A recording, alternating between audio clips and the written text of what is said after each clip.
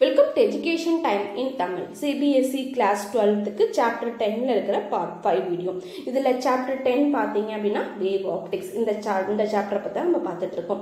இப்போ refraction at a rarer medium using Huygens principle so இந்த டாப்பிக்கை பற்றி நம்ம இந்த வீடியோவில் டிஸ்கஸ் பண்ண போகிறோம் அதுக்கு முன்னாடி சேனலை சப்ஸ்கிரைப் பண்ணாதவங்க சப்ஸ்கிரைப் பண்ணிக்கோங்க.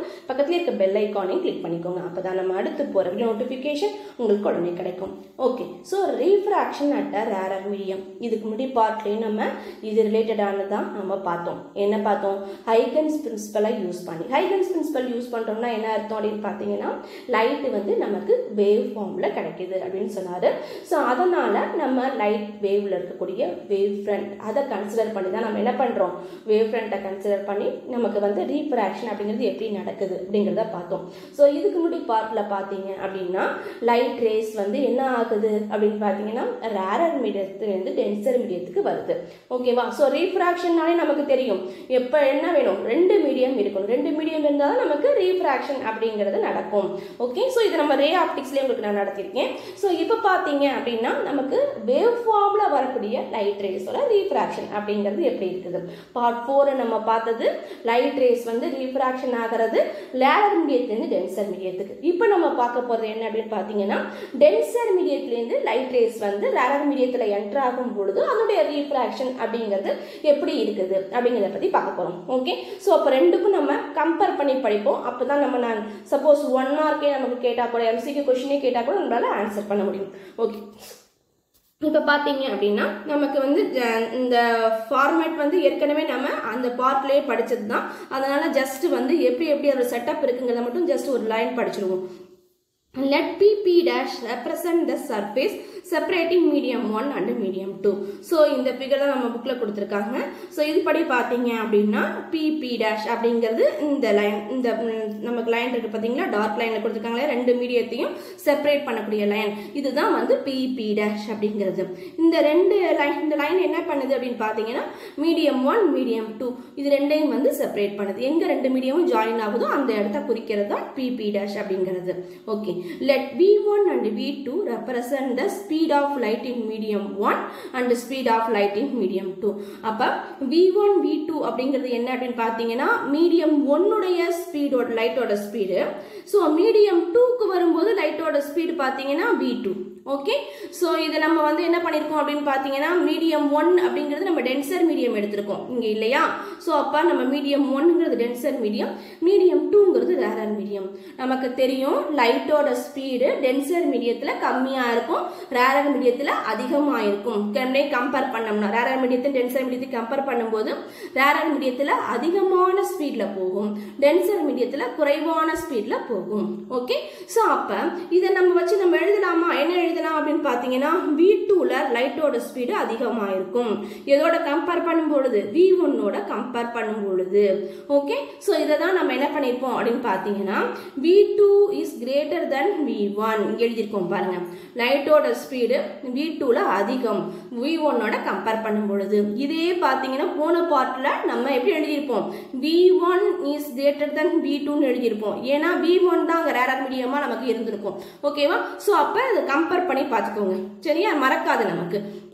V2 is greater than V1 எப்போ லைட் ரேஸ் வந்து டென்சர் மீடியத்திலேருந்து rarer மீடியத்துக்கு வரும் பொழுது ஓகே ஸோ இப்போ அடுத்த பாயிண்ட் என்ன அப்படின்னு பார்த்தீங்கன்னா we assume the plane wavefront AB propagating propagating in the A'A incident on a interface on the interface at an angle i so இப்போ நம்ம இன்சிடென்ட் ஆங்கிள் ஐ வந்து நோட் பண்ண போகிறோம் நம்ம எடுத்திருக்கிறது என்னது? Wave ஃபார்மில் உள்ள லைட் rays.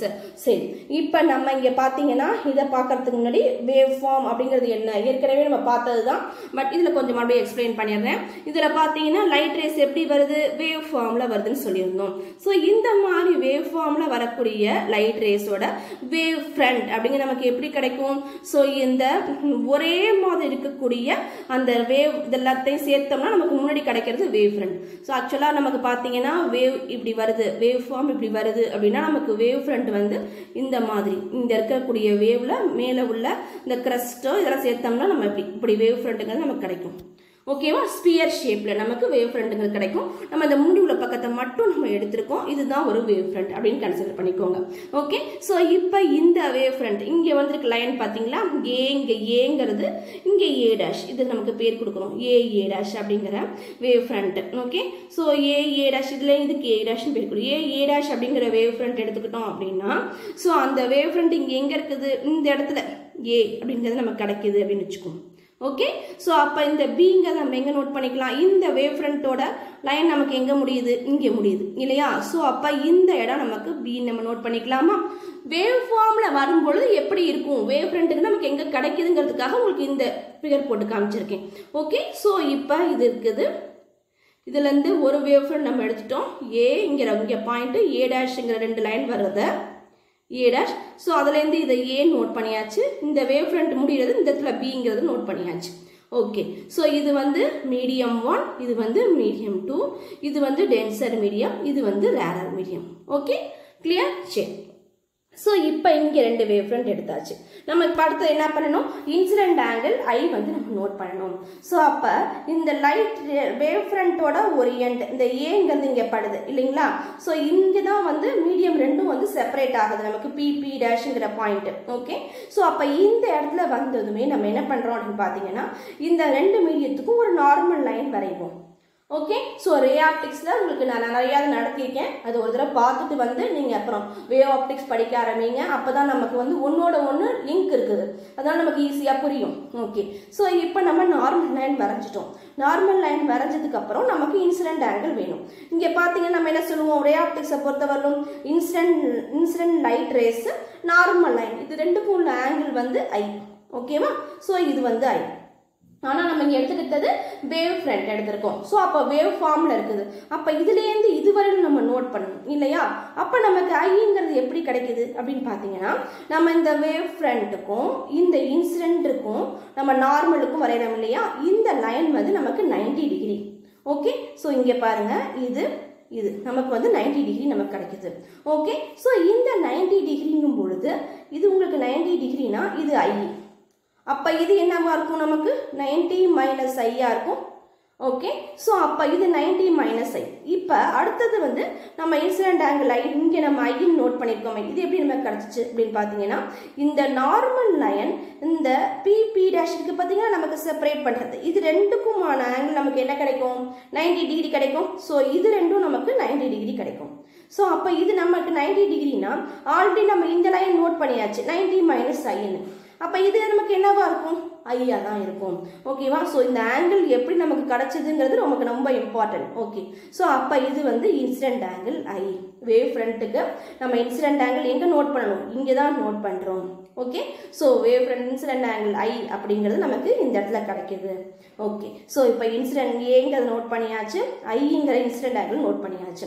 இப்போ அடுத்தது நம்ம என்ன பண்ணுறோம் அப்படின்னு பார்த்தீங்கன்னா let tau be the time taken by the wave front to travel the distance B C so அப்போ வேவ் ஃப்ரண்ட் நம்ம எடுத்துக்கும் பொழுது ஏங்கிற பாயிண்ட் வந்து இந்த மீடியம் ஒன்றில் வந்து நமக்கு என்ட்ராயிடுச்சு ஓகே ஸோ அதே ஆனால் ஏ வேவ் பி இருக்கு பார்த்தீங்களா அது வந்து மீடியம் ஒன்று செப்பரேட் ஆகுது பாருங்க. மீடியம் ஒன் அண்ட் டூ அந்த இடத்த ரீச் பண்ணலை. ஸோ அப்போ அந்த இடத்த அதை ரீச் பண்ணுறதுக்கான டைம் எவ்வளோ ஆகுது?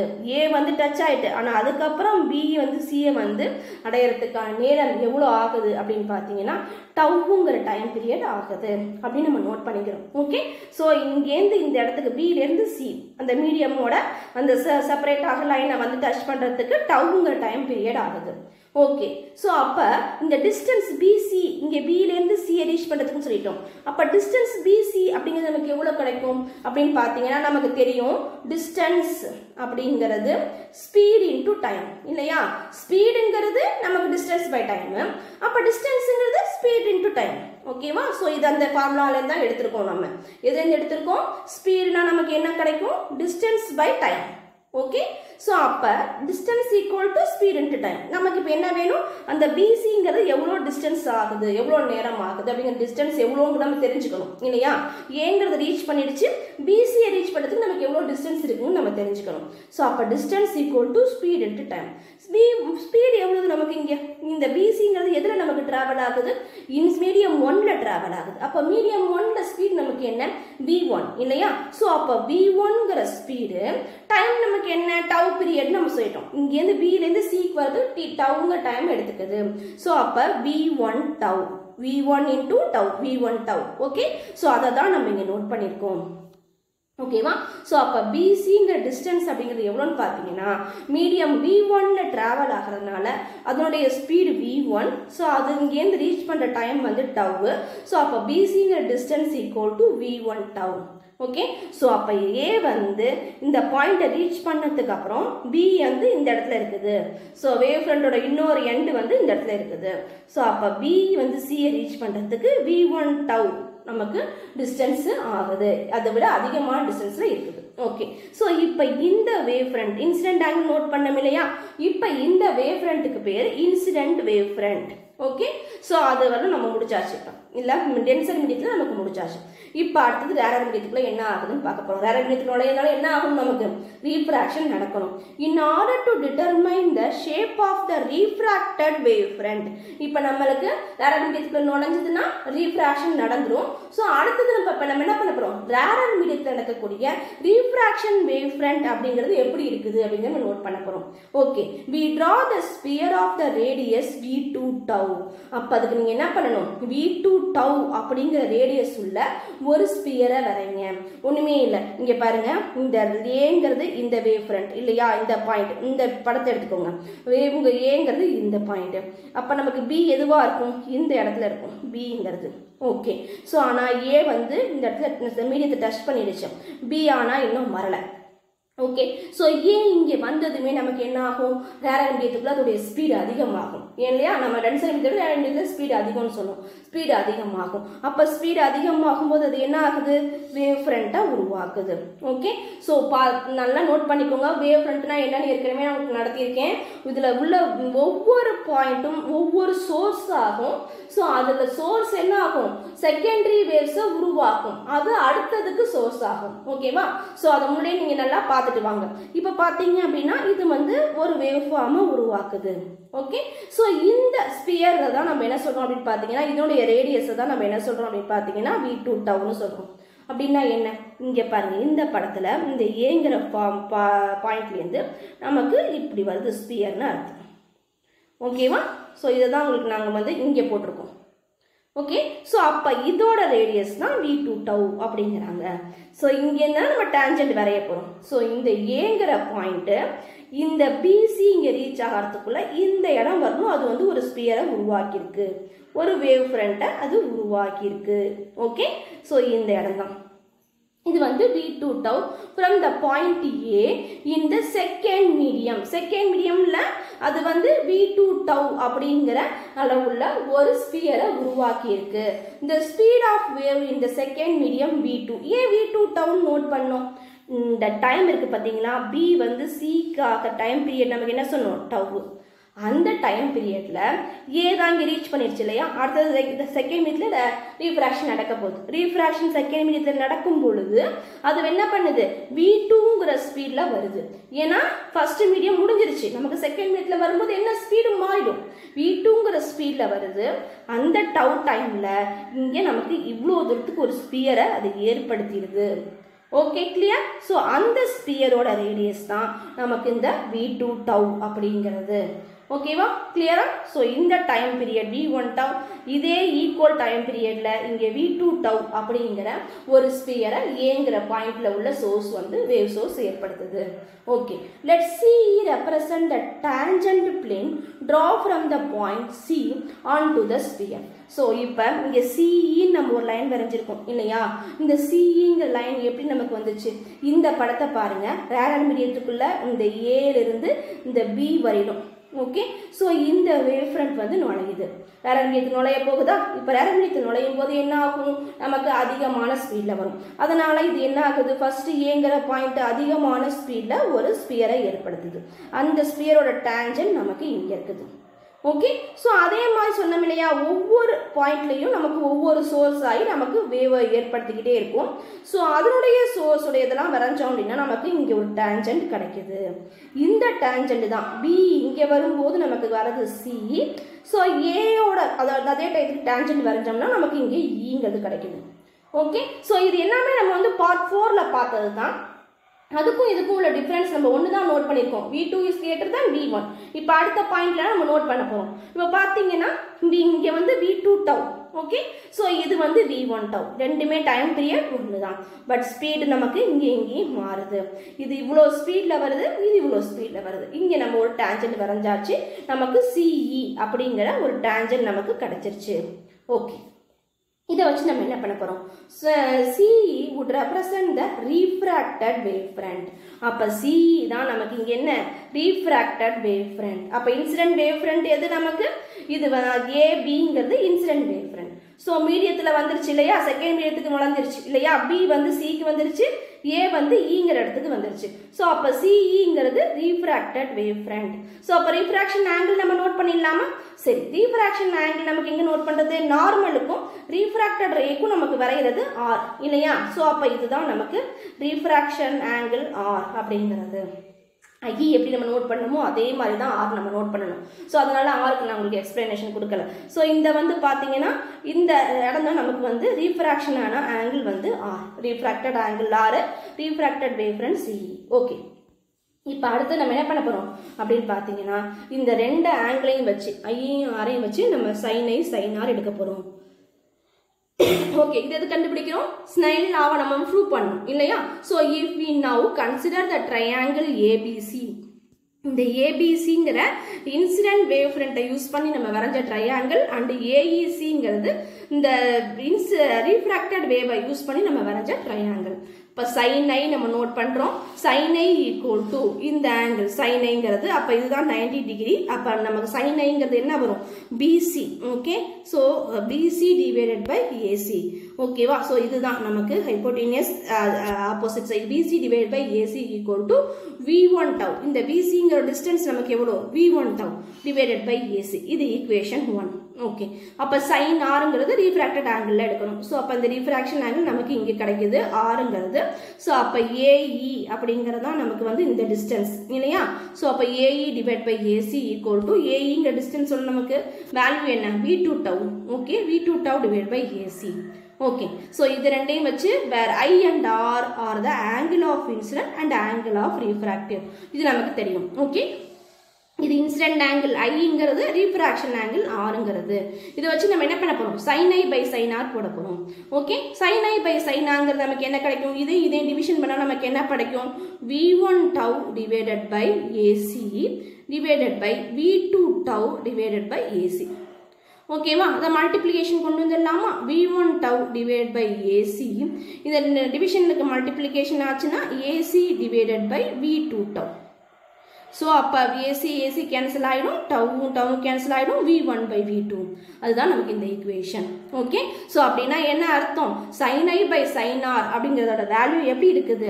V one divide by v two அப்படிங்கிற மாதிரி இருக்குது. வி ஒன்ங்கிறது என்ன? ஃபர்ஸ்ட் மீடியத்தில் ஸ்பீட் டிவைடட் பை வி டூங்கிறது செகண்ட் மீடியத்தில் speed okay from the above equation we get the important result if r is greater then i நம்ம ஈக்குவேஷன்லேருந்து என்ன தெரிஞ்சுக்கிட்டோம் அப்படின்னு பார்த்தீங்கன்னா r is greater than i இது நமக்கு ஃபர்ஸ்ட் பார்ட்டில் மாறி இருக்கும். ஓகே ஸோ அதில் ரீஃப்ராக்ஷனுக்கும் இதுக்கும் ரீஃப்ராக்ஷனுக்கும் மாறி இருக்கும். பார்த்துக்கோங்க. அங்கே வந்து இன்சிடென்ட் ஆங்கிள் அதிகமாக இருக்கும். இங்கே ரீஃப்ராக்ஷன் ஆங்கிள் அதிகமாக இருக்குது. ஸோ இப்போ r is greater than i இங்கே பாருங்கள் இந்த பிக்சரில் முத ஆக்சுவலாக ஐ இப்படி வந்திருக்கு இல்லையா? அதே டைரக்ஷனில் போகணுன்னா நமக்கு இப்படி போயிருக்கணும். ஓகேவா? ஸோ பட் ஆனால் ரீஃப்ராக்ஷன் ஆகி நமக்கு என்ன ஆயிருக்கு? இங்கேருந்து இவ்வளோ தூரம் அதாவது ஐயை விட அதிகமாக நமக்கு இங்கே ரீஃப்ராக்ஷன் நடந்திருக்கு. உங்களுக்கு பார்க்கும்போதே தெரியும் பட் நம்ம படம் போடும்போது இப்படி தான் போடணும். ஓகேவா? ஸோ அதை எப்படி நம்ம சொல்லுவோம் அப்படின்னு பார்த்தீங்கன்னா that is if the ray moving away from the normal நம்ம நார்மல் லைன் வரைகிறோம் இல்லையா? நார்மல் லைனை விட தள்ளி போகும். ஓகே ஸோ இதுக்கு முன்னாடி பார்ட்டில் டுவர்ட்ஸ் த நார்மல்னு படிச்சிருப்போம். ஏன்னா ஐ அதிகம் ஆர் கம்மி. ரீஃப்ராக்ஷன் ஆங்கிள் ஐங்கிற இன்சிடென்ட் ஆங்கிளை விட கம்மியாக இருக்கும். அதனால நம்ம என்ன பண்ணியிருப்போம் டுவர்ட்ஸ் நார்மல்னு படிச்சிருப்போம்.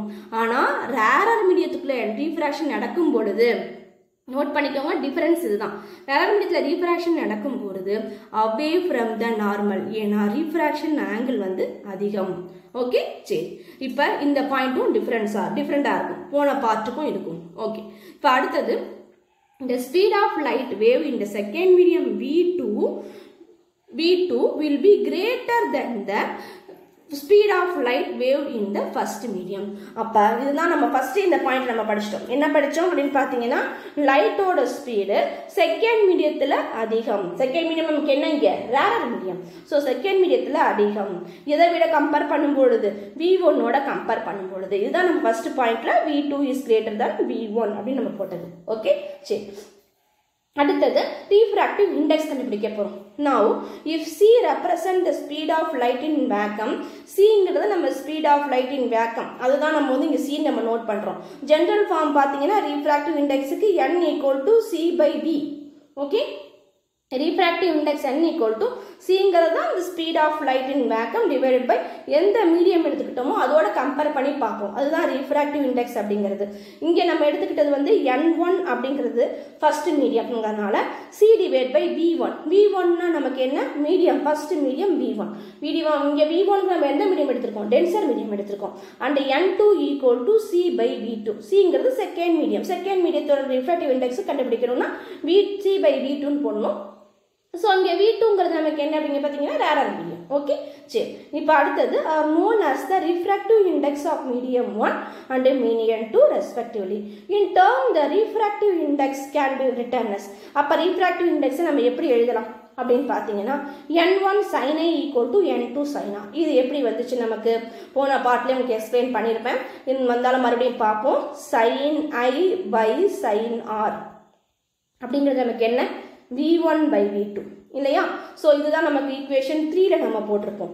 இங்க பாருங்க ஈக்குவேஷன் த்ரீல sine i by sine r equal to v one by v two போட்டிருக்கோம் இல்லையா? இதை தான் திரும்ப நம்ம அதில் எடுத்து எழுதுறோம். இந்த ஈக்குவேஷன் த்ரீயை வச்சு தான் நம்ம இதை வந்து ஈக்குவேஷன் ஃபோரை சப்ஸ்டியூட் பண்ணி கொண்டு வர போகிறோம் சரி இப்போ v one by v two போட்டோம் இல்லையா? அப்போ சைன் ஐ பை சைன் ஆருக்கு பதிலாக நம்ம என்ன பண்ண போகிறோம் வி ஒன் பை வி டூக்கு பதிலாக ஈக்குவேஷன் ஃபோர்லேருந்து எடுக்க போகிறோம் ஈக்குவேஷன் ஃபோரில் வி ஒன் இந்த பக்கம் கொண்டு வந்துருங்க என் ஒன் இந்த பக்கம் கொண்டு வந்துருங்க. அப்போ v one equal to c by n one v two equal to c by n two அப்போ வி ஒன் பை வி டூங்கிறது நமக்கு என்ன கிடைக்கும்? இதை நம்ம டிவிஷன் போட்டுடலாமா? V one by we டூங்கிறது c by n one divided by c by n two okay அப்போ c by n one two இங்கே டிவிஷன் இருக்கிறது மல்டிப்ளிகேஷனுக்கு மாற்றினோம்னா n two by n one so sorry n two by c okay இந்த c இந்த சியும் cancel ஆகிடும் நமக்கு n two by n one கிடைக்கும். எதுக்கு பதிலாக நமக்கு கிடச்சிருக்கு? வி ஒன் பை வி டூக்கு பதிலாக கிடச்சிருக்கு. அப்போ நம்ம இங்கே sine i by sine r v one v டூக்கு பதிலாக n two by n one side substitute பண்ணிடலாமா? ஓகே அப்போ இங்கே n two by n one substitute பண்ணோம்னா நமக்கு என்ன கிடைக்கும்? இங்கே வி ஒன் பை வி டூக்கு பதிலாக என் டூ பை என் ஒன்னு சப்ஸ்டியூட் பண்ணுறோம் okay sine i by sine r equal to n two by n one okay so இப்போ n two by n one sine i by sine ஆர்னா இதை தான் நம்ம என்ன பண்ணுறோம் கிராஸ் மல்டிபிள் பண்ணிக்கிறோம். Sine i by sine r equal to n two by n ஒன்னா n one இங்கே multiple பண்ணிடுறோம் என் டூவோட சைன் சைன் ஆரை மல்டிபிள் பண்ணிடுறோம். அதனால தான் நமக்கு என்ன ஆகுது? என் ஒன் சைன் இங்கே எழுதியிருக்கோம் equal to n two sine இந்த ஈக்குவேஷன் ஃபைவ் அப்படிங்கிறது எனக்கு கிடச்சிருக்கு. ஓகே ஈக்குவேஷன் த்ரீயும் ஃபோரையும் வச்சு நம்ம ஈக்குவேஷன் ஃபைவ் அப்படிங்கிறத ரெடி பண்ணியிருக்கோம். ஸோ இந்த ஈக்குவேஷன் எதை குறிக்குது அப்படின்னு பார்த்தீங்கன்னா this is the Snell's law of refraction இதுதான் வந்து ஸ்னைல் லாவோட ரீஃப்ராக்ஷன் அப்படிங்கிறது. அதாவது sine i by sine r equal to n two n one by n two sorry n two by n one okay அதாவது n two respect to one medium ஒன்னை பொறுத்து ரெண்டு நடக்கிற ரீஃப்ராக்ஷன் ஓகேவா சாரி மீடியம் ரெண்டு ஒன்றை பொறுத்து ரெண்டோட ரீஃப்ராக்ஷன் ஓகே ஸோ இப்போ பார்த்தீங்க அப்படின்னா இந்த sine ic equal to n two by n one போட்டுக்கோம் இது என்ன ஐசி அப்படிங்கிறது? நம்ம கிரிட்டிக்கல் ஆங்கிள் அப்படின்னு ஒன்று படிச்சிருப்போம் ரியாக்டிக்ஸில் ஓகேவா ஸோ அப்போ கிரிட்டிக்கல் ஆங்கிள் அப்படின்னா என்ன அப்படின்னு பார்த்தீங்கன்னா இன்சிடென்ட் ஆங்கிள் ஐ இருக்குது பார்த்தீங்களா ஐங்கிற இன்சிடென்ட் ஆங்கிள் ஐசி அப்படிங்கிறதுக்கு ஈக்குவல் ஆகுது. அதாவது ஐசிங்கிற கிரிட்டிக்கல் ஆங்கிளுக்கு ஈக்குவல் ஆகுது. அப்படின்னா என்ன நடக்கும் அப்படின்னு பார்ப்போம். இந்த அடுத்தது பார்த்தீங்கன்னா thus if i equal to ic i equal to ஐசினா incident angle நம்ம ஐன்னு நோட் பண்ணியிருக்கோம் இந்த ஃபிகரில் ஓகே ஸோ இந்த பிக்சரில் வந்து நம்ம இன்சிடென்ட் ஆங்கிள் ஐ அப்படின்னு நம்ம நோட் பண்ணியிருக்கோம் ஐசி அப்படிங்கிறது என்ன அப்படின்னு பார்த்தீங்கன்னா கிரிட்டிக்கல் ஆங்கிள் அதாவது நம்ம படுற லைட் ரேஸ் இருக்குது பார்த்தீங்களா? இந்த லைட் ரேஸில் நம்ம இது இன்சிடென்ட் ஆங்கிள் நோட் பண்ணுறோம் இப்போ படுற ஆங்கிள் ஃபார் எக்ஸாம்பிளுக்கு இங்கே வந்து தேர்ட்டி டிகிரியில் நமக்கு வந்து இன்சிடென்ட் ஆங்கிள் படுது. அப்போ இங்கே நமக்கு தேர்ட்டி டிகிரியில் இன்சிடென்ட் ஆங்கிள் இருக்குது அப்படின்னு வச்சுக்கோங்க. இதே இன்சிடென்ட் ஆங்கிளோட ஆங்கிள் வந்து மாறுது. நார்மலுக்கு நம்ம லைன் வரையும் போது தானே நமக்கு ஆங்கிள் கிடைக்குது. ஓகே ஸோ இப்போ இந்த நார்மலோட இந்த இன்சிடென்ட் ஆங்கிள் பரக்கூடிய ஆங்கிளோட அளவு மாறும் பொழுது ஓகே ஸோ எந்த லெவலுக்கு மாறும் பொழுது? கிரிட்டிக்கல் ஆங்கிளாக மாறும் பொழுது sine r equal to one ஆயிடும் sine i by sine r equal to n two by n one இல்லையா? ஸோ அப்போ இங்கே பார்த்தீங்கன்னா ஐங்கிற இன்சிடென்ட் ஆங்கிள் ஐசியாக மாறும் பொழுது கிரிட்டிக்கல் ஆங்கிளாக மாறும் பொழுது sine r equal to one அப்போ இங்கே சைன் ஆர் அப்படிங்கிறது என்ன வேல்யூ ஆயிடுது? ஒன்றுன்னு ஆயிடுது. ஸோ அப்போ சைன் ஆர் ஈக்குவல் டு ஒன்னா நமக்கு என்ன கிடைக்கும்? Sine i equal to n two by n one மட்டும்தான் நமக்கு கிடைக்கும். எப்போ? சைன் ஐங்கிறது கிரிட்டிக்கல் ஆங்கிளாக மாறும் பொழுது n two by n one மட்டும்தான் நமக்கு கிடைக்கும். இதைத்தான் நம்ம இங்கே எப்படி எழுதியிருக்கோம். ஓகே ஸோ இந்த ஈக்குவேஷன் என்ன அப்படின்னு பார்த்தீங்கன்னா நமக்கு இன்சிடென்ட் லைட்டோட ஆங்கிள் வந்து கிரிட்டிக்கல் ஆங்கிளாக மாறும் பொழுது நமக்கு சைன் ஐ அப்படிங்கிறது சை ஐசியாக மாறுது. அப்போ சைன் ஆறுங்கிறது ஒன்றுன்னு நமக்கு கிடைக்குது. சைன் ஆறுங்கிறது ஒன்றுன்னு கிடைக்குது. சரி கிரிட்டிக்கல் ஆங்கிள்னா என்ன? இதுலேருந்து நம்ம என்ன தெரிஞ்சுக்கணும்? கிரிட்டிக்கல் ஆங்கிள்ங்கிறது நம்ம எப்படி தெரிஞ்சுக்கலாம்? அப்படின்னு பார்த்தீங்கன்னா ரீஃப்ராக்ஷன் வந்து நைன்டி டிகிரி ஆயிடும் இங்கே பாருங்க இன்சிடென்ட் ஆங்கிள் இங்கே படுது. ஓகே ஸோ இது ஃபார் எக்ஸாம்பிளுக்கு ஒரு தேர்ட்டி டிகிரி அப்படின்னு வச்சுக்கோங்க. ஸோ ஓகே அப்போ ரீஃப்ராக்ஷன் ஆங்கிள் நமக்கு இங்கே கிடைக்குது. ஓகேவா ஸோ அந்த ரீஃப்ராக்ஷன் ஆங்கிள் இன்சிடென்ட் ஆங்கிளை விட அதிகமாக இருக்கும். அப்படிதான் நமக்கு ரூல்ஸ் லேரல் நுழையும் போது r is greater than nine ஓகேவா ஃபார் எக்ஸாம்பிளுக்கு சொல்கிறேன் இது தேர்ட்டி டிகிரி அப்படின்னா நமக்கு இது வந்து ஒரு அதை விட அதிகமாக கிடைக்கும் அப்படின்னு வச்சுக்கோங்களேன். ஒரு சிக்ஸ்டி டிகிரி ஆகுது அப்படின்னு வச்சுக்கோ இங்கே ஓகேவா ரீஃப்ராக்ஷன் வந்து சிக்ஸ்டி டிகிரி ஆகுது. அப்போ ஆர் வந்து ஐயை விட அதிகமாக இருக்கு. இதே sine i incident angle critical ஆங்கிளாக இருந்துச்சு அப்படின்னா இங்கே ஐங்கிறது ஐசியாக இருந்துச்சு அப்படின்னா ஓகே ஸோ அது எந்த ஆங்கிள் அது என்ன ஆங்கிள்ங்கிறது வந்து நமக்கு மீடியத்தை பொறுத்து மாறும். ஓகேவா கிரிட்டிக்கல் ஆங்கிள்ங்கிறது மீடியத்தை பொறுத்து நமக்கு மாறும். நான் உங்களுக்கு ரே ரே ஆப்டிக்ஸ்லேயே நடத்திருக்கேன். கிரிட்டிக்கல் ஆங்கிள்லாம் என்னென்னு. ஜஸ்ட் இது வந்து ஒரு லைன் உங்களுக்கு சொல்கிறேன் அவ்வளோதான் நமக்கு வந்து இன்ஸ்டன்ட் மீடியத்தை பொறுத்து நமக்கு மாறும். இப்போ ஐ வந்து ஐசியாக மாறுச்சு அப்படின்னா இங்கே ஆறுங்கிறது நைன்டி டிகிரியாக நமக்கு கிடைக்கிறோம் அப்படின்னு சொல்கிறோம் அப்போ ஆர் நைன்டி டிகிரினா கிடைக்கிறா என்ன அர்த்தம்? இந்த ரீஃப்ராக்ஷன் ஆங்கிள் அப்படிங்கிறது இந்த ஆங்கிள் வந்து நைன்டி டிகிரியாக மாறுது. அப்போ நைன்டி டிகிரினா மாறுதுன்னா என்ன அர்த்தம்? இந்த இடத்துல வந்துடும் ரீஃப்ராக்ஷனுங்கிறது இங்கேயே வந்துடும் எது மேலேயே வந்துடும் நமக்கு? இந்த பி பி டேஷுங்கிற லைன் செப்பரேட் பண்ணுது பார்த்தீங்களா ரெண்டு மீடியத்தை? அந்த மீடியத்துக்கே வந்துடும் அதான் நமக்கு நைன்டி டிகிரி ஓகே ஸோ அப்போ இங்கேயே வந்துடுச்சு அப்படின்னா நமக்கு ரீஃப்ராக்ஷன் சைன் ஆரோட வேல்யூ வந்து ஒன்று ஓகே ஸோ அப்போ சைன் நைன்டி டிகிரி நமக்கு ஒன்று தானே ஓகேவா சைன் நைன்டி டிகிரியோட வேல்யூ என்ன நமக்கு?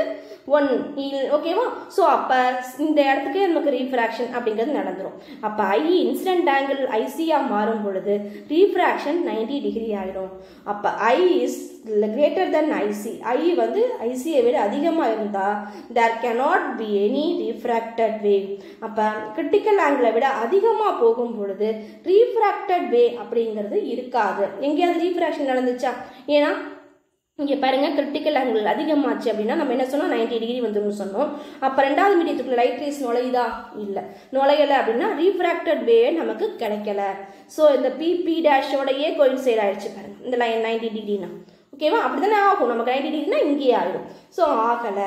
Then angle i c is known as the critical angle அப்போ எந்த ஆங்கிளில் ஆர் வந்து நைன்டி டிகிரியை ரீச் பண்ணுதோ அந்த angle critical angle and for all angle of incident greater than the critical angle படக்கூடிய எல்லா இன்சிடென்ட் ஆங்கிளும் கிரிட்டிக்கல் ஆங்கிளை விட அதிகமாக இருந்துச்சுன்னா we will not not any any ray and the ray will undergoes what is known as the total internal reflection இதை நம்ம என்னன்னு சொல்லலாம் டோட்டல் இன்டர்னல் ரிஃப்ளெக்ஷன் அப்படின்னு சொல்லலாம்.